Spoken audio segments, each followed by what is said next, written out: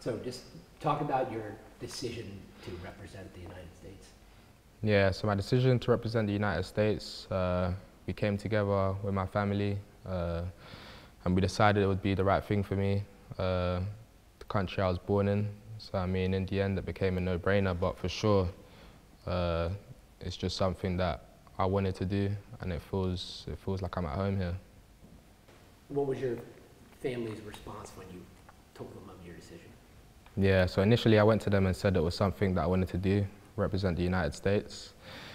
And they agreed. They thought um, my mum was saying, what took you so long? So I mean, uh, we was all uh, on the same page. And then as soon as uh, we finished the conversation, I just sent the message off to my agent to say, let's make this happen.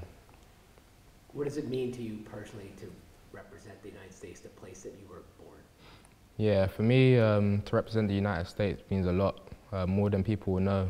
Uh, across all sports, when I was growing up, I just knew the United States would just dominate and win, especially at the Olympics. I would just always see them picking up gold medals. So for me to now have the opportunity to represent them, um, it means a lot to me and I just hope I can bring that prestige and winning mentality over into soccer.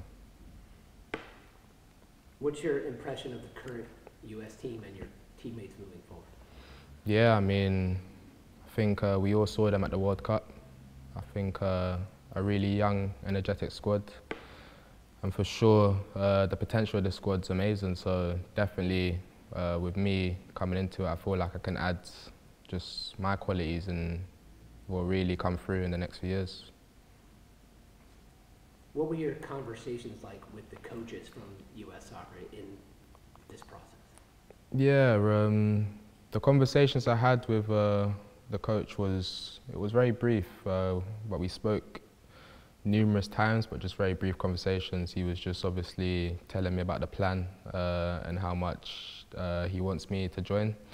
And of course, I just told him that I'm keen and uh, I understood the project, so it was just a matter of when but definitely, uh, we did speak a few times, but just brief conversations. Looking forward to now your first camp with the U.S. team. What are you hoping to accomplish when in, in your first time in with the group? Yeah, of course. So uh, luckily for me, my first time is going to be in a competitive tournament. So um, of course, the ambition is to win, and uh, there's not really much to it. I think uh, I'm going to have the opportunity to train with the boys and just get to know everyone, but for sure, uh, straight down to business when we head over to Vegas your first match, uh, match could be against our biggest rival in, in Mexico. What would it mean for you to have that be your first, first cap for the United States? Yeah, I mean, it's amazing, uh, for sure. I like to play under big games, and it's something that every young player should be aspiring to do. So for me, having the opportunity to play against Mexico in a, in a rivalry will be amazing, and hopefully I can make the difference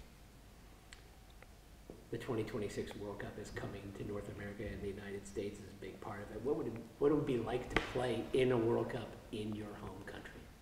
Yeah, I mean, uh, it's almost it's almost too good to be true, you know. Uh, to obviously have the World Cup in America is just crazy, um, and then to be, of course, the host nations, and then my first World Cup, it just all came together really nicely. So I just think some things are meant to be, and definitely this just feels like it's meant to be.